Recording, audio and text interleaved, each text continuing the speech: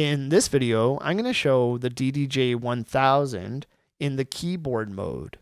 So I'm going to hold down shift and I'm going to press this hot cue button. And now when I release, all the different hot cue positions are going to flash for me and I can pick which spot I want to pitch up or pitch down.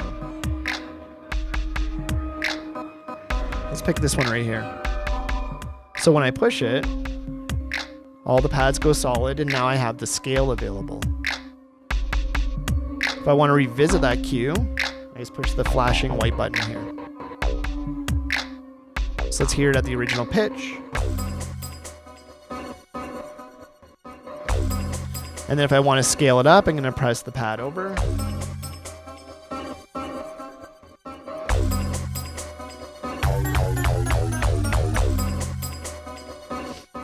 You get the idea.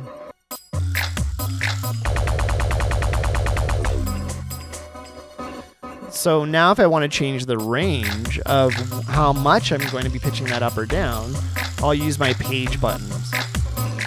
If I push page right, then the pitch is going to go down. And you can see that inside of Rekordbox, it will show me where the range is.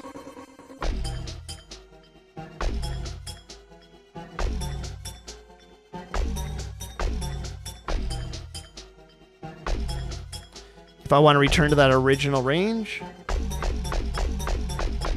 I'm just going to push my page button to the left. And then again, I get that referral of the white pad to hit for the original the original key.